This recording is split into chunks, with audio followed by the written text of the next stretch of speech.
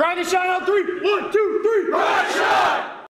For the guys, most importantly, um, started out kind of slow this week, had the weekend blues, uh, come back Monday, Tuesday, second practice kind of got after it.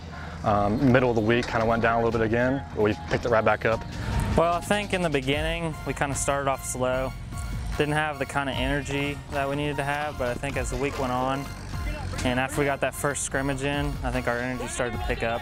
We, we saw the film and everything, and we came out so we weren't ready to hit. Um, we needed to have one of those come to God practices, have everybody doing everything they can.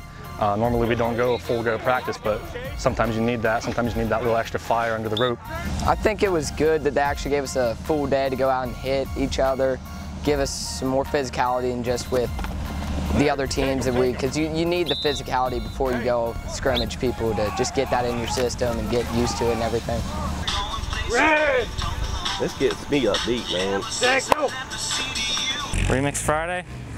I mean, it's okay, but the songs are a little iffy. Cause baby, know we got bad blood. You know we used to be mad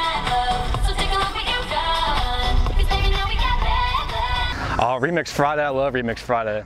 I mean, I don't, I don't get the time on the camera. I don't dance when the camera's around, but when I have my time, I'm sitting there with my guys in the second day. We're doing what we do back there.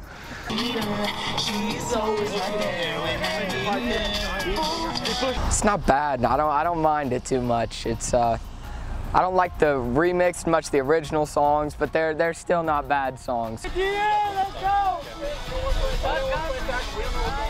Tomorrow, I'm looking for a complete game. I want to see him come out. I want to see him hit. I want to see him be furious. I want to see him have four to six seconds of relentless aggression like we talk about every day.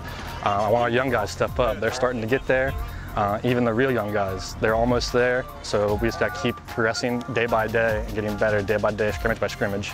I think we need to bring more energy than we did last scrimmage, and uh, we need to work on eliminating mental mistakes. And I think if we do that, we'll be successful. I think we're right where we need to be for tomorrow. Uh, we'll come out and have a good day tomorrow. I think we're, almost there. Got a couple more weeks before Fed Hock, and I think we should be good to go.